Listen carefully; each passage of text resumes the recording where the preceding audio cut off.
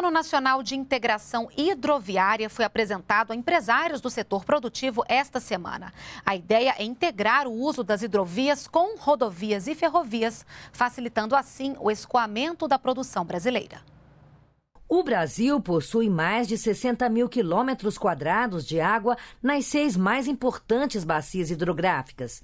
Apenas a bacia amazônica concentra 45% do total das águas. O Plano Nacional de Integração Hidroviária está elaborando um levantamento do potencial dessas bacias para desenvolver projetos de navegação e transportes de cargas de forma viável e econômica. Nesse estudo, nós, nós, nós vamos ter condições de comparar rotas para ver quais são as melhores a nível de custo, a nível de menor emissão eh, de poluentes e assim por diante. Então, nós vamos estar mais seguros na hora de falar da utilização das hidrovias. O Brasil transporta por ano 900 milhões de toneladas de cargas. 80% desse transporte é por terra e 5% por água. A ideia do plano é aproveitar o potencial dos rios brasileiros e inverter esses números, como forma de baratear o transporte de cargas no país e diminuir a emissão de gases poluentes na atmosfera.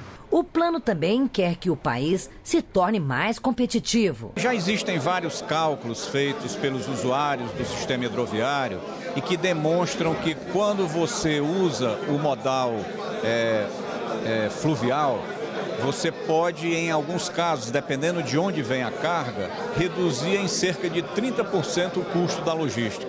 Veja que para um país exportador de commodities como o Brasil, de grãos é, agrícolas, de grãos minerais, a redução de custos é vital para a competitividade. A ideia é atrair a atenção do setor privado por meio de parcerias e investimentos para explorar o potencial hidroviário do país. Quando você apresenta um plano desse, você coloca ao alcance do empresário uma perspectiva, uma visão do que ele poderá alcançar daqui para diante.